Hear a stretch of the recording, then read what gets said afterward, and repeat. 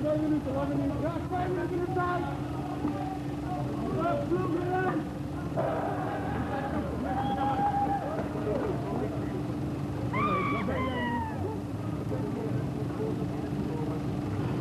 Mensen naar achteren toe.